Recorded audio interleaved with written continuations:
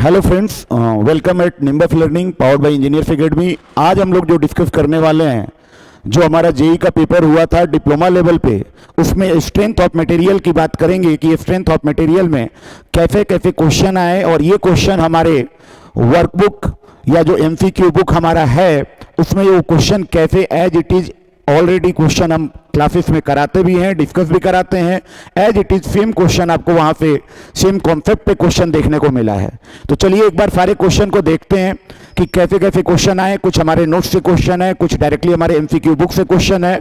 उस MCQ book में लगभग 5000 प्लस क्वेश्चन है, जो कि अलग अलग सब्जेक्ट वाइज टॉपिक वाइज आपको प्रैक्टिस करने के लिए बहुत सारे क्वेश्चन मिलेंगे। तो चलिए हम देखते हैं यहाँ पे। सबसे पहला क्वेश्चन जो हमें देखने को मिला था यह हमारा फ़र्स्ट क्वेश्चन ध्यान देंगे, जो हमारे पेपर में क्वेश्चन आया था at a point in the two dimensional stress sigma x दिया है सिग्मा वाई दिया है टॉ एक्स वाई दिया है what is the radius of Mohr circle drawn with the scale of this एक स्केल दिया गया है और वहाँ फिर रेडियस पूछा जा रहा है। यदि हम अपने वर्कबुक की बात करते हैं, जो कि एमसीक्यू बुक है हमारा इसमें स्टेट ऑफ़ स्ट्रेस में एक पॉइंट दिए गए हैं, जिसमें सिग्मा एक्स है सिग्मा वाई है और टॉ एक्स वाई है। और इस केस में आपको क्या पूछा जा रहा है? रेडियस पूछा जा रहा है। डाटा में आपको थोड़ा सा चेंजेज है। यहाँ टेन है, यहाँ 40 है, यहाँ आपको 40 दिया है, ये 100 है। लेकिन ओवरऑल रेडियस निकालना है और रेडियस स्टैंडर्ड फार्मूला हमें पता है। तो इस केस में हम लोग इजीली इसको फाइंड कर सकते हैं। और ये जो हमारा केस देगा इसमें हमारा आंसर डी आना चाहिए, जो कि हम लोग बोल सकते हैं कि डायरेक्टली हमारे एमसीक्यू बुक से ये क्वेश्चन है।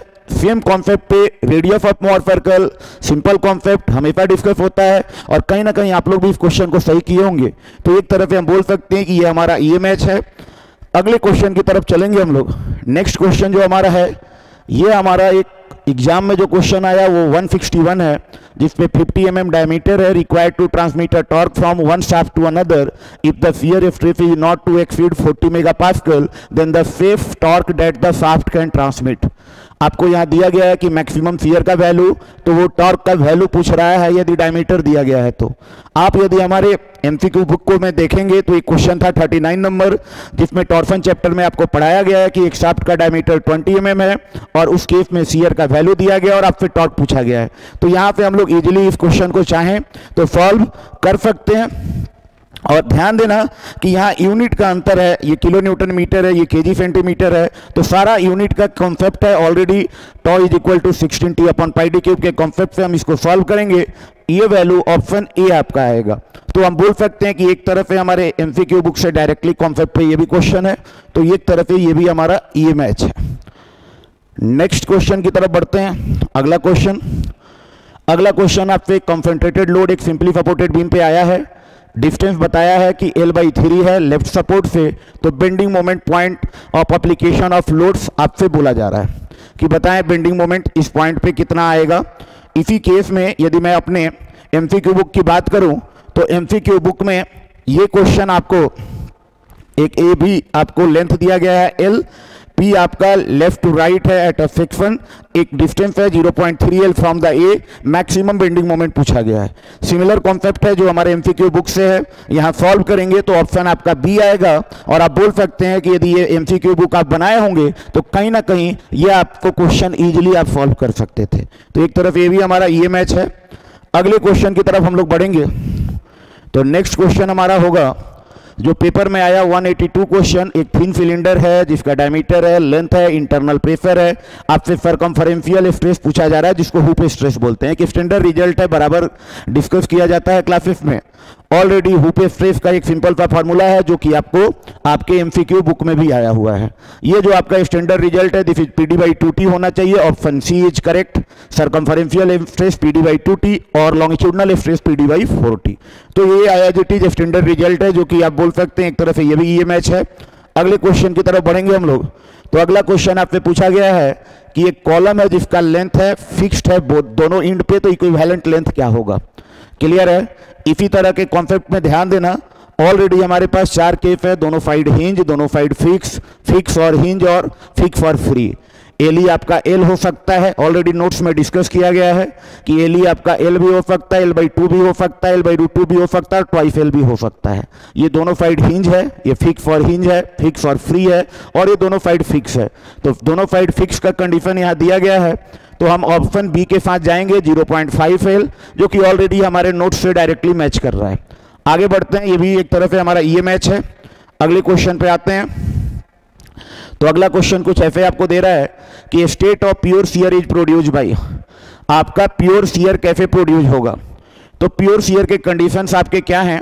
ध्यान दें आपसे अलग अलग कंडीशन दिया जा रहा है कि equal compression in two direction of right angle equal tension in two direction at right angle a moment and couple in opposite direction and tension in one direction and equal compression in opposite direction इस case में pure shear की बात हो रही है, आपको भी पता है कि प्योर शेयर के केस में मैक्सिमम और मिनिमम नॉर्मल स्ट्रेस जो होता है शेयर के मैग्नीट्यूड के बराबर आएगा। और ये जो एंगल होता है 45 डिग्री एंड 135 डिग्री पे आता है। इस कॉन्सेप्ट को ऑलरेडी हमने ऐसे डिटेल में पढ़ रखे हैं। इसमें आपका यदि प्योर टॉर्शन का केस होगा तो प्योर शेयर आ सकता है, या एक केस में इक्वल और अपोजिट रिएक्शन आएँगे तो आप बोल सकते हैं कि वहाँ भी आपको प्योर शेयर का कंडीशन दिखेगा। जो कि एज इट इज़ हमने प्योर शेयर के सारे कंडीशंस को यहाँ क्लास में डिस्कस किए हैं, कैसा आपका कपल होना चाहिए, इस केस में क्या नॉर्मल स्ट्रेसेस होंगे, और कितने एंगल पे उनका वैल्यू आएगा। This is 45 degree and 135 degree तो ये भी बोल सकते हैं कि डायरेक्टली एक तरफ़ से हमारा क्या है? ये मैच है। क्लियर है? तो इस तरह से हमने देखा कि जितने भी ज़्यादातर क्वेश्चन दिखे यहाँ पे, या तो हमारे नोट्स से डायरेक्टली बताए गए हैं, या हमारा जो बुक है एमसीक्यू मैकेनिकल इंजीनियरिंग का जो बुक है, जिसमें 5000 प्लस ऑब्जेक्टिव क्वेश्चन है, जो कि टॉपिक वाइज भी हैं, और कहीं ना कहीं चैप्टर वाइज तो हैं ही, साथ के साथ टॉपिक वाइज भी क्वेश्चन दिए गए हैं। तो यदि इस बुक को आप एक बार बना लेते हैं तो मेरा मानना है कि अब जितने जेई पेपर जो भी आप इंट्रेंस पेपर दे रहे हैं अलग अलग कॉम्पिटेटिव एग्ज़ाम का, कहीं ना कहीं वो काफ़ी हेल्पफुल होगा, क्योंकि जो भी क्वेश्चन आ रहे हैं। लगभग इसी कॉन्सेप्ट के आसपास ही बातें हो रही हैं। और एक साथ अच्छे टेक्निकल क्वेश्चन जिसका एक्सप्लेनेशन भी दिया गया है आंसर भी दिया गया है, और एरर लेस है। मतलब आप कहीं ना कहीं इस बुक को बनाकर आप एक तरह से सारे सब्जेक्ट को एक क्विक रिवीजन की तरह आप कर सकते हैं। तो एक बार इस बुक को ज़रूर बनाएँ। चलिए thank you thank you very much If you really like the video, please hit the like button, share the video, subscribe to our YouTube channel and press the bell icon for the latest updates. Thank you.